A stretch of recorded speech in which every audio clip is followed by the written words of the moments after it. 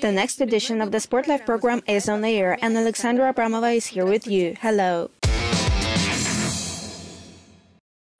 Traditionally, let's start with the most interesting news from the world of mixed martial arts over the past week.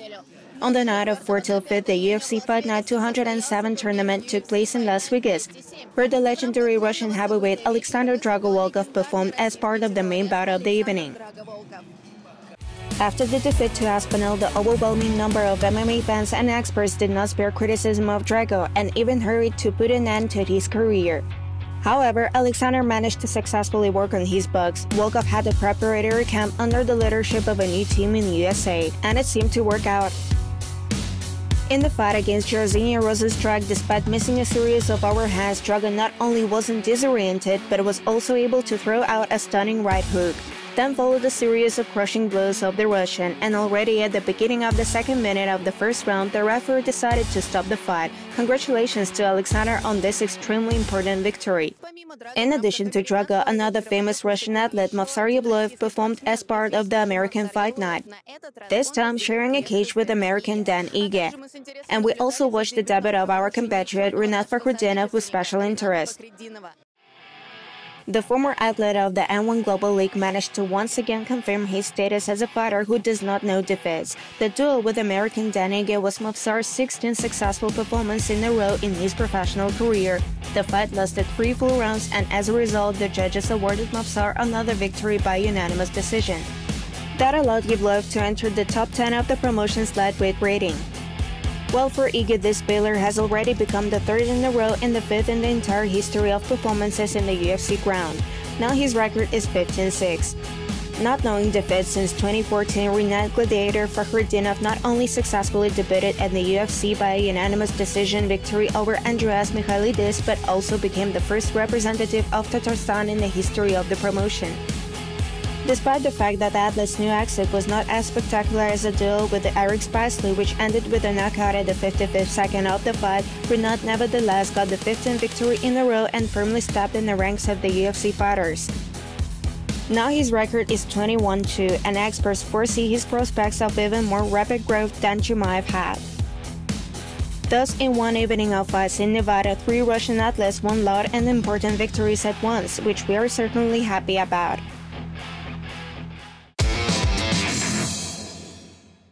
4th in the city of Troitsk near Moscow, the next MMA series number 52 Moscow Calling event was held. As part of the main bout of the evening, the guests of the tournament saw another confident victory of Ilya Vorovsky, a pupil of the Spartak Kaluga and Ruboxing clubs. This time, his opponent was Zhanybek Ulusimik, who lost to his opponent by a decision of the judges following the results of three full rounds. The athletes rapidly began the bout, skipping the period of exploration of each other's weaknesses, applying the tight kicks and trying to respond to each blow. Closer to the middle of the the 5-minute period, the course of the fight moved from the center to the grid, where Zhanybek managed to impose wrestling mode on his opponent and to take his back. Despite Ilya's attempts to get rid of the overhanging seeming, the Kyrgyz athlete was still able to show his wrestling skills by disabling the barbarian's leg and steadily achieving a position of control. In the second round, after an accurate blow to the jaw performed by the Kyrgyz athlete, fighters once again found themselves on canvas, where they spent another 4 minutes. At the same time, Barbarian demonstrated excellent work from the below for the entire distance, throwing out the heaviest hammer fists and the up kicks every now and then. It was able to move to the rack only at the end of the second part of the 5-minute period. In the final segment of the fight, the scenario of the first round was repeated, where Atlas exchanged blow for half of the distance, and by the middle of the round they were back in the stalls. However, Naoya not only actively tried to get out from under the opponent, but even managed to seize the initiative several times. According to the statistics of the battle, Barbarian managed to throw out 110 punches during the fight, of which 73 reached the goal. Zhanybek, who made 104 attempts to inflict damage to his opponent, has half as many accurate hits.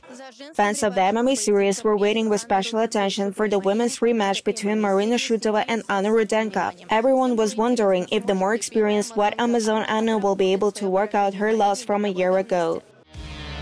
The girls were already well acquainted with each other, so they decided to go straight to the exchange of blows in the rack. In particular, it is worth noting the high speed of the applying the heaviest overhits in the work of both sides. In the middle of the initial 5 minutes, Anna managed to apply the most accurate upkick to the opponent's head, which resulted in a serious dissection. However, despite the bleeding while complicating Marina's work, Shutova tried to respond to Rudenko for each of her blows, repeatedly shortening the distance. In her turn, Anna tried to do damage by kicking on the opponent's body and head, not getting closer, although she tried to take Marina into wrestling a few seconds before the end of the fight. In total, a huge number of punches were thrown during the bout, 177 attempts and 62 hits from Marina, compared to 49 of 137 from Rudenko. Shutova managed to win over the White Amazon once again, this time by unanimous decision of the judges. As part of the MMA Series 52 event, the next semifinal bouts of the Grand Prix competition were held, where in the category up to 77 kilograms, Dmitry Zasinets and Abdusalamov Sharapudin met, and in the weight up to 105 kilograms, there were Denis Arkhireev and Ruslan Medzhidov. It's time to find out the names of the lucky ones who made it to the finals. In the weight class up to 77 kilograms, according to the results of three intense and labor rounds, a place in the final was pulled out by the Belarusian Dmitry Zasinets, who managed to defeat Abdusalamov Sharapudin, who did not know defeats until the last exit to the octagon. For Dmitry, the fight started unsuccessfully. On the 15th second of the fight, he managed to miss the right side punch, which broke his nose. Due to the heavy bleeding, Zasinets repeatedly lost his balance and slipped on his own blood. Athlete spent almost the entire first round on canvas at the grip. Dmitry was trying to escape from the stalls. Abdusalamov was in search of a favorable position for control and subsequent chokehold. The second round followed an almost identical scenario, where Sharapudin managed to impose his course of play and to press the opponent in the stalls, while Dmitry was in a position of active defense and methodically earning points. Sometimes he was trying to take the opponent to the armbar. In just a 15 minutes, Dmitry threw out 19 punches, 70 of which reached the opponent, compared to 36 out of 60 performed by Sharapudin. As a result, by a separate decision of the jury, Zasinets won a labor victory. Immediately after the announcement of the decision, Dmitry's rival Maxim Viktorov came into the octagon. Stare down took place without much tension, but at the Grand Prix final is expected to be bright. In the category up to 105 kilograms, the place in the final went to Azerbaijani athlete Ruslan Medzhidov, who confidently defeated Denis Arkhireev. Recall that Denis lost to Dmitry Andrushko at the 50th tournament of the series and agreed to take a fight on short notice due to the injury of the original opponent of Ruslan. The duo lasted 8 minutes without a second, during which Medzhidov dominated his opponent and as a result won a confident victory by submission, choking his opponent. Thus, in the final of the Grand Prix in the weight class up to 105 kilograms, Ruslan Medzhidov will meet with the more experienced Dmitry Andrushko. We wish all opponents productive preparation and the achievement of the desired victory. You can see the rest of the participants of the last tournament on your TV screens. Roman Karasov failed to work out his February defeat. This time, according to the results of three full rounds, Narkul Ulu Alibek turned out to be stronger. Already the third victory in the series was won by the representative of the Mollet Club, Christian Milkanyan, who defeated Dube Maxim by TKO almost at the end of the second round. Kyrgyz athlete Tugambayev Jakub successfully debuted on our side and turned out to be stronger than Vaskanat Anganes from the Yermak Club by the decision of the judges. The fight between Anakulov Muslim and Alexeyev Alexander was declared invalid due to the unintentional prohibited knee strike to Alexei's head, which resulted in a serious injury.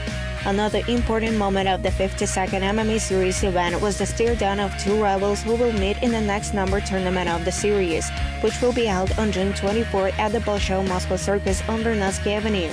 The octagon will be shared by two representatives of different worlds, Sergei Bobryshev on the side of professional sports and the extremely famous pop MMA fighter Sviatoslav Kovalenko. It's going to be hot.